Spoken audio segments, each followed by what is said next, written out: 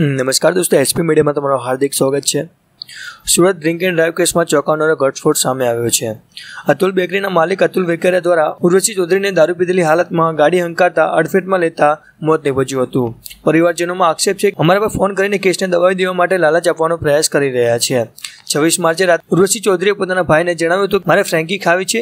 ત્યારબાદ ઉર્વશી અને તેનો ભાઈ બંને નીકળ્યા હતા. તેમાં એક ફૂલ ઝડપે કાર આવી હતી અને મોપેડને અડફેટ લેતા અકસ્માત સર્જાયો હતો, જેમાં ઉર્વશી ચૌધરીનું મોત નિપજ્યું હતું. અતુલ વેકરિયાએ ઉર્વશી નામની યુવતીને અડફેટમાં લેતા તેનું મોત નિપજ્યું હતું. ઉર્વશી ચૌધરી અંતિમવિધિ સુરત જિલ્લાના બારડોલી ખાતે કરવામાં આવી હતી.